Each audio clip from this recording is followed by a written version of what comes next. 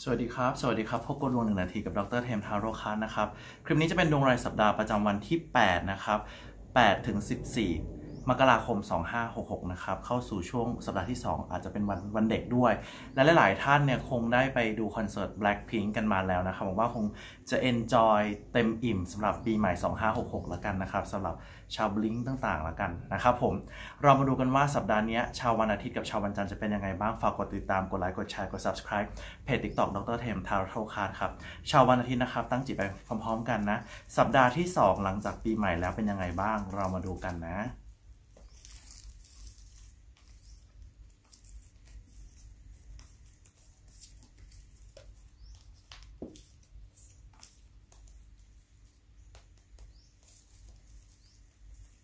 ชาววันอาทิตย์สัปดาห์นี้เหมือนมีเรื่องคิดหลายอย่างเหมือนกันนะครับ เหมือนมีเรื่องต้องคิดต้องทำต้องพิจารณาหรือทำอะไรบางอย่าง รวมทั้ง มีเรื่องหนักใจกังวลใจ ยิ่งคิดก็ยิ่งกุ้ม เหมือนฝืนความรู้สึกอะไรบางอย่าง แต่ก็ต้องสู้ต่อนะครับผม แล้วก็ช่วงนี้อาจจะทำอะไรก็ค่อนข้างเหนื่อยนิดนึงนะครับ ถ้าคุณผู้หญิงชาววันาทิตย์สัปดาห์นี้งานคุณเข้าอย่างแน่นอนเตรียมใจเอาไว้เลยนะครับ แล้วสไตล์ตำรวจทหารพร้อมลุยพร้อมปะทะอะไรบางอย่างนะ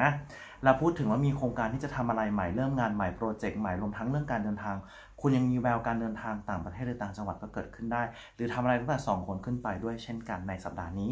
เราพูดถึงว่าจะมีการติดต่อประสานงานอะไรบางอย่างนะสำหรับชาววันอาทิตย์ รวมทั้งเรื่องราวของคนรักด้วยนะครับ หากใครมีคนรักอยู่แล้วก็จะเป็นเรื่องราวของของคนรัก แต่ถ้าไม่ใช่ก็อาจจะเป็นเรื่องเอ่อคนโสด คนโสดก็จะอาจจะมีใครที่อาจจะเข้ามาก็ได้นะครับอะทีนี้เรามาดูว่าชาววันจันทร์จะเป็นยังไงบ้าง สัปดาห์ที่สองนะ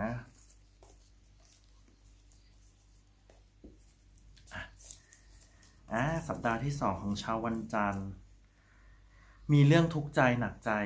ยิ่งคิดก็ยิ่งกุ้มนะครับ กังวลใจหนักหน่วงมาก ปวดหัวเลยเป็นไมเกรน บางท่านนะ เป็นไมเกรนซึมเศร้าก็เกิดขึ้นได้ เหมือนโดนแทงข้างหลังนะอึดอัดใจเหลือเกินนะครับ ใจคิดเรื่องการเงินนะครับ อยากจะหาเงินเยอะๆ ช่วงนี้นะคิดว่าเรื่องการทำมาหาเงินอะไรยังไงบ้าง แล้วรวมทั้งนะคุณเป็นคนที่คาดหวังสูงเกี่ยวกับเรื่องงานนะ ไม่ว่าเรื่องงานเรื่องเงินหรือความรัก สิ่งที่ได้มาอาจจะไม่ได้ตามคาดแต่ถามว่าได้ไหมได้นะครับแต่อาจจะไม่ได้ตามคาดนะให้เผื่อใจเอาไว้ตั้งไว้ร้อยอาจจะได้สักแปดสิบตั้งไว้ร้อยละอาจจะได้สักเจ็ดสิบบางอย่างนี้ก็ได้นะครับ ในการเปรียบเทียบยังไงคุณก็ได้แน่นะครับ แล้วไพ่มันพูดถึงว่า